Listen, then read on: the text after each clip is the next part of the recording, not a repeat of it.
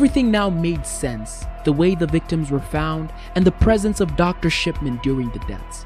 This made the police estimate his victims to be more than 250 people. On the 31st of January 2000, the Harold Shipman trial began, and it was also discovered that Harold stole from his victims. He would steal their jewelry, and he kept them like some sort of trophy, and some he gave to his wife.